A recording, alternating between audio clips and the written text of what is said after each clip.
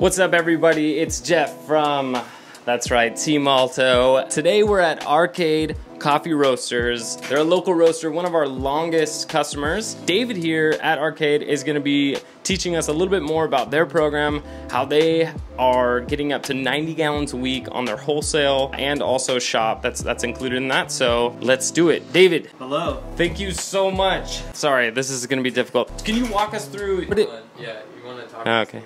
I need to learn how to how to do the mic better. Small, small camera. It's we're very low budget, so we keep the mic small. The question is, what is your cold brew process? Go. So first we grind cold brew. We have different types of cold brew, single origin and blends. We grind it to different grind sizes from 11 to maybe we're going on 15. We're trying out a new process this week. And then we extract the cold brew with hot water or the grinds with hot water, bloom it, and then um, we pour about five gallons over the bloom grinds to start the cold brew process. Yeah. And so then, how long after that do you harvest it? So we harvest it for about 16 to uh, 18 hours, depending on single origin or blend. I'm assuming that when you're dialing in a, a blend or dialing in a, a, single origin, you're just testing one five gallon batch and seeing what's up, or do you test smaller? We actually just do five gallons. It's really hard to uh, kind of mess up cold brew in a sense. 16 to 18 hours is pretty much a range where you kind of want to go with cold brew. Okay. Sweet. And then after that, I noticed that you you have kegs. Like,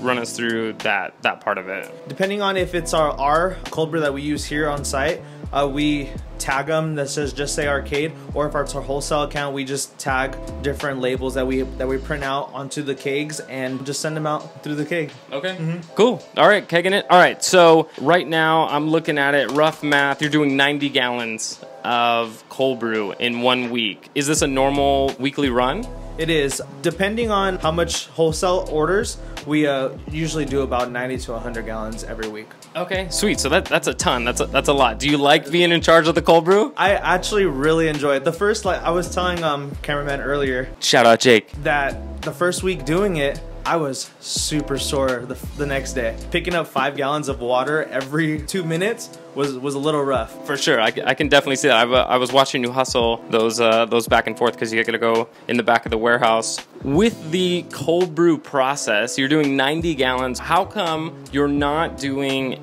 just one big, you know, like getting your mom's bathtub and doing it all 90 gallons in there? Why why are you not doing that? Couple reasons. One, there's single origins and blends. We're not really sure like the ratio quite yet, but we actually just talked two weeks ago. Um, our kombucha guy carries 50 gallon buckets and he mm-hmm. has them to make kombucha and I think we're gonna just try it one time. Just with our cold brew blend. We don't have to mess up single origin. Cold brew blend's a little cheaper to to process. Okay so it's so it's there's some there's some fear in in terms of like well if I mess up a five gallon batch like we're only out five gallons. But if you mess up a 50 gallon 50 batch gallon? what are you gonna do with 50 gallons of that cold brew? So that that makes sense. But with the the 50 gallon this is just speculating. Do you think that you'll still use like what would it be 10 bags of, of alto for that we will for sure probably yeah yeah use 10 bags of um of alto bags. Yeah okay. totally. Because i'm assuming that you guys are doing five pounds of coffee per per batch. I'm just assuming that but we you do. can tell me i'm wrong. No no we do. Okay. we do. Yeah. So it would be for sure 10 bags of uh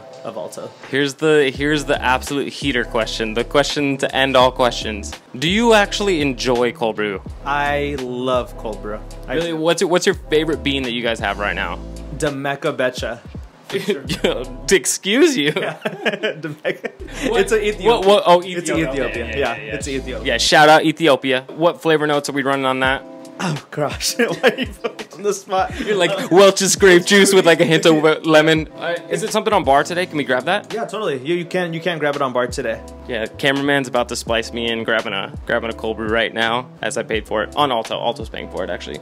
Sweet. Yeah. All right. Well, thanks so much, David. I really appreciate you barging in or letting us barge in and and get a get a snapshot of your process. Um, I, I, think that a lot of people are scared of how to scale cold brew, and, and you guys are doing it in a super approachable way where you're basically doing it like everyone else, but times 14. So it, it's you know, and as you guys scale up to that 50 gallon thing, I think it's I think it's really cool, and it's been cool to see you guys grow. So thanks so much, David. Appreciate you. Thank you. Thank you guys for coming. Yeah.